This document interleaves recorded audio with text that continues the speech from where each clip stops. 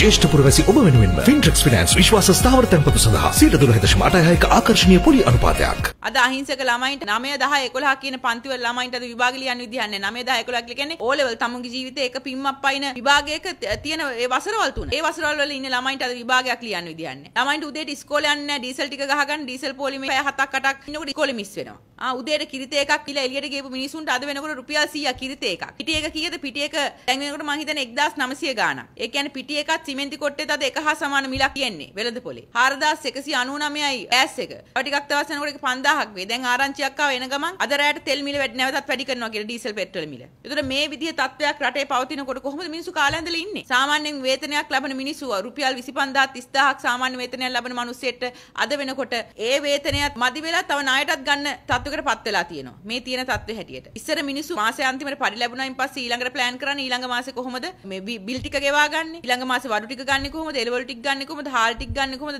දරුවන්ට අත්‍යවශ්‍ය දේවල් ටික ගන්න කොහොමද? දරුවගේ ක්ලාස් ෆීස් ගෙවන්නේ කොහොමද? වෑන් එකේ ෆීස් එක ගෙවන්නේ කොහොමද? චුට්ටක් ඉතුරුනොත් බැංකුවට දාන්නේ කොහොමද? තව චුට්ටක් ඉතුරුනොත් එහෙම මේකෙන් විනෝද චාරිකාවක් යන්නේ. එහෙම නැත්නම් එළියට ගිහලා කෑම ටිකක් කාලා ගෝල් ෆේස් එකේ ඇවිදින්න. මිනිසුන්ට තිබ්බ මේ මේ මිනිසුන්ගේ වැඩසටහන් හදාගෙන හිටියේ එහෙමයි ජීවිතේ.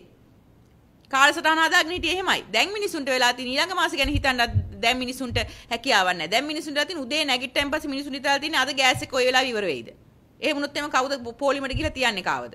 ඩීසල් ටික කොයි වෙලාවෙ ඉවර වෙයිද? එහෙම වුණොත් එහම කවුද පොලිමේ අද අද අද ඉන්නේ කවුද පොලිමේ? අද මිනිසුන්ට තියෙන සාමාන්‍ය ප්‍රශ්න ඔය උදේ නැගිට වෙලාවෙ ඉඳන් මිනිස්සු ඉන්නේ එදා දවස ගත කරන්නේ කොහොමද කියලා හිතලා. ඉතින් මේ වගේ තත්ත්වයකට රට කවදාවත් පත් වෙලා මං හිතන්නේ අපේ ආච්චිසියගේ කාලෙවත් මේ වගේ තත්ත්වයකට මුණ දීලා ඇති කියලා. 70 70 ගණන් වල කැරැල්ලක් තිබ්බා. 80 ගණන් වල ජේප් කලබල තිබ්බා.